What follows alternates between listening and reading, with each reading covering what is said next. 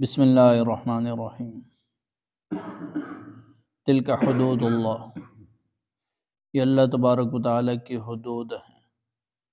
वमैत व रसूल और जो शख्स अल्लाह और उसके रसूल की इतात करता है युदखिल हो जन्नात तजरीमिन तहती हल अनहार तो अल्लाह तबारक ताली उसको ऐसी बहशतों में दाखिल करेंगे कि जिनके महल्लात के नीचे से नहरें जारी हैं, खालिदीन फ़ीहा, जिसमें वो हमेशा हमेशा रहेंगे।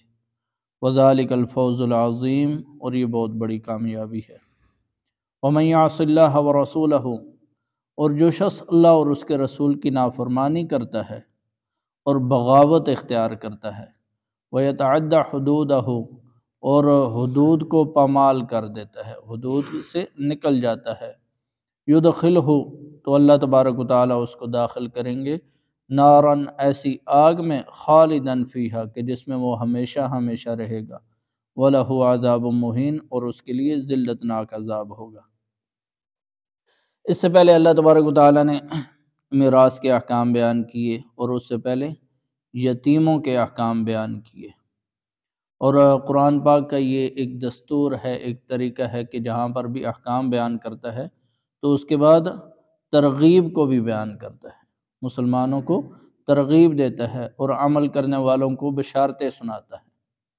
और ना अमल करने वालों के लिए वईद को भी बयान करता है कि जो अमल करेगा, उसको अल्लाह तबारक ताली इनामात से नवाजेंगे। और जो अमल नहीं करेगा, बगावत करेगा तो अल्लाह तबारक ताली की तरफ़ से फिर उसके लिए सज़ा मुकर होगी।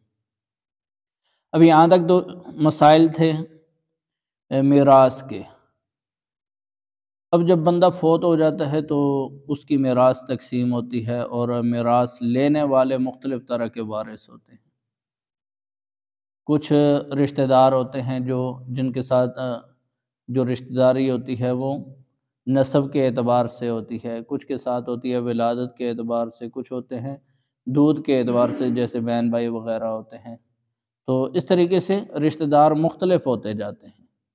चचाजाद हो गए या इंसान के जो चाचू लोग होते हैं या मामू लोग होते हैं या फोत होने वाले के नवासे नवासियाँ जो होती हैं। तो इस एतबार से इल्मफ़राइज़ यानी इल्म में इनके मुख्तलिफ़ नाम रखे गए हैं। असहाबुलफ़रोज़ और असबात जविलरहम इस तरह के मुख्तलिफ़ नाम रखे गए हैं। तो अभी यहाँ पर जो हिस्से बयान हुए हैं, ये असहाबुलफ़राइज़ के बयान हुए हैं। लेकिन चंद एक हिस्से बयान हुए हैं। यहाँ पर पूरी तरह से बयान नहीं हुए, बाकी अहादीस में बयान हुए हैं।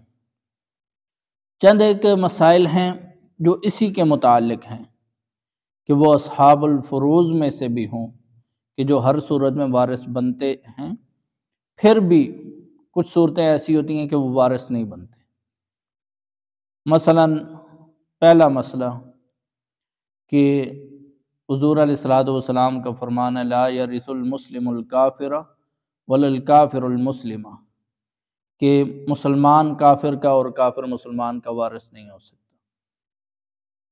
तो अब मरने वाला अगर मुसलमान है, उसके औलाद में से कोई काफिर है तो उसका वारिस नहीं होगा। मरने वाला काफिर है, उसके बुरासा में कोई मुसलमान है तो उसका वारिस नहीं होगा।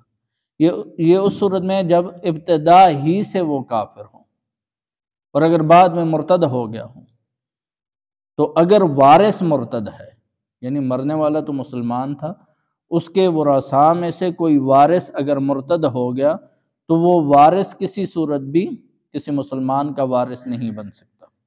उसको ऐसा नहीं मिलेगा। ठीक है? मुर्तद को। और ना ही वो किसी मुर्तद का वारिस बन सकता है। ये सिरे से ही माल से महरूम कर दिया जाएगा।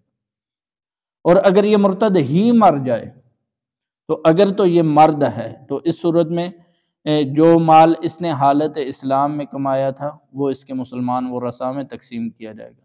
और जो हालत कुफर में इसने कमाया, वो बैतुलमाल में जमा कर दिया जाएगा। और अगर मुर्तद होने वाली औरत है तो इसका सारा माल मुसलमान रसा में तकसीम कर दिया जाएगा। और दूसरी सूरत ला यरसुल्क़ातिल हजूर सलाम का फरमान है कि कातिल वारिस नहीं होता। मसलन कोई बंदा मकतूल हुआ है और उसका कातिल उसी के वारसों में से कोई है। जिसका हिस्सा बनता था उसकी मेरास में। लेकिन इस कत्ल करने की वजह से वो मेरास से महरूम कर दिया जाएगा। उसने अपना हिस्सा खुद ही ज़ाया कर दिया। और तीसरा मसला एक बंदा फोत हुआ, उसकी औलाद है और उसकी बीवी के पेट में बच्चा है। तो वो बच्चा भी वारिस बनेगा। ठीक है, इस मसले के बारे में आम तौर पर आवाम को इलम नहीं होता। वो बच्चा भी वारिस बनेगा। अब ये मसला कि मालूम नहीं कि वो बच्चा है या बच्ची है, एक है या एक से जायद है तो इस सूरत में उसका हिस्सा कितना होगा? तो इस हवाले से सबसे बेहतर सूरत तो ये है कि उसकी विलादत तक तकसीम को मौखर कर दिया जाए। उसका जो मेरा, मेरास है, उसको तकसीम ही ना किया जाए। और अगर तकसीम करने की ज़रूरत पड़ गई है उसकी विलादत से पहले पहले तो इस सूरत में ऐसी सूरत इख्तियार की जाएगी जिसमें, यानी कि उसको लड़का या लड़की तस्वर करने में वो सूरत इख्तियार कर, की जाएगी कि बाकी वो रसा का हिस्सा जिसमें कम है, आए, मिसाल के तौर पर, इसको मिसाल से समझे। अगर उसको लड़का तस्वर करें। तो बाकी वो रसा को एक लाख रुपया मिलता है।